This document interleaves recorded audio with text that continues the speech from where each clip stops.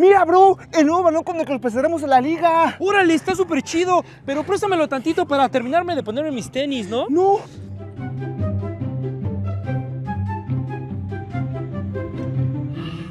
Qué estás haciendo, loco? Eso es una cosa prohibida que debes evitar para que se ovale el balón. Tranquilo, men, eso lo hago con todos mis balones. Pues ahora entiendo por qué están todos cuadrados y con las costuras descosidas. ¡Dame el esférico! ¡Ay! ¡Te la volaste, bro! Espero el árbitro nos acepte el balón para poder jugar el partido. ¿Qué te pasa? Se pasó.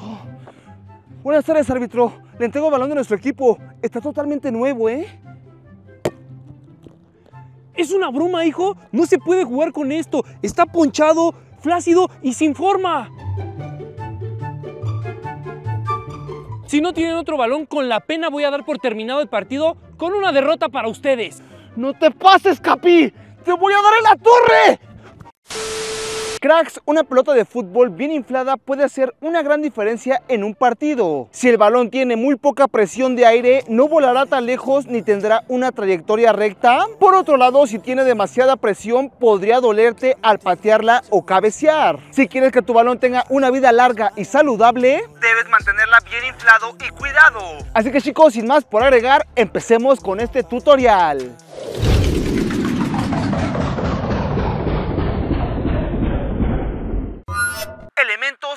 Importantes. Tener una bomba y una aguja para inflar.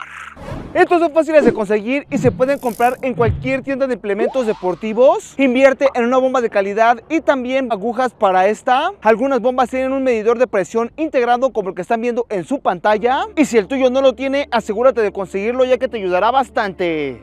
Determina la presión de aire ideal.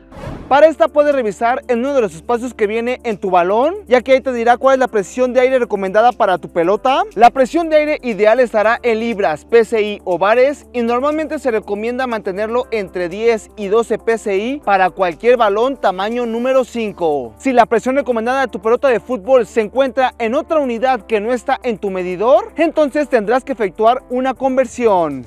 Lubrica la aguja y la válvula. Usa aceite de glicerina o un poco de saliva y coloca una porción alrededor de la válvula de la pelota. Esto te ayudará a conservar la válvula y también a insertar la aguja con mayor facilidad.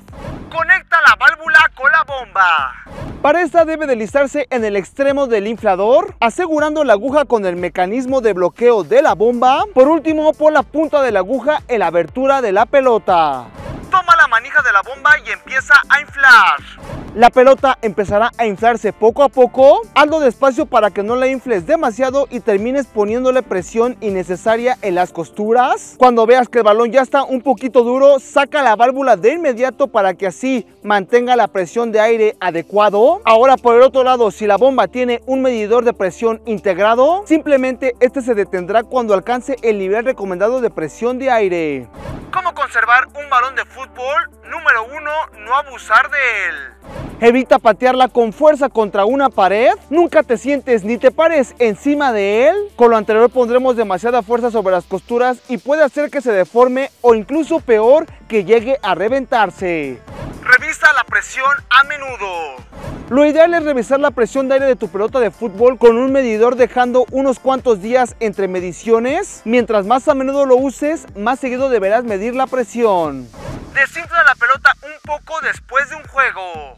Aunque no es necesario, los fabricantes sugieren que después de un partido debes dejar que un poco de aire escape del balón. Esto reduce la presión en la pelota mientras no lo usas. Solo recuerda inflarla otra vez para que le puedas dar un uso para la próxima. Juega en superficies suaves o lisas.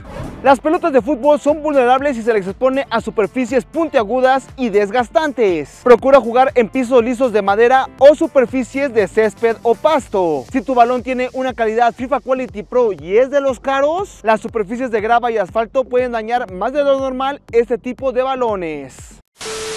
Y bueno, cracks, ya lo tienen un tutorial bastante sencillo, humilde, pero elemental para que así le puedas dar muchos años de vida a tu balón. Espero les haya gustado y si es así, por favor, agradezcanlo con muchos likes y suscripciones si eres nuevo, activando la campanita para que no te pierdas ningún contenido que estamos haciendo para todos ustedes. Recuerden seguirnos por acá porque estamos subiendo bastante contenido chido en cada una de ellas que no quiero que te pierdas porque de verdad la estamos rompiendo en cada red social. Y bueno amigos, sin más por agregar, soy tu amigo El Vecino y nos estamos viendo en la próxima. Bye bye.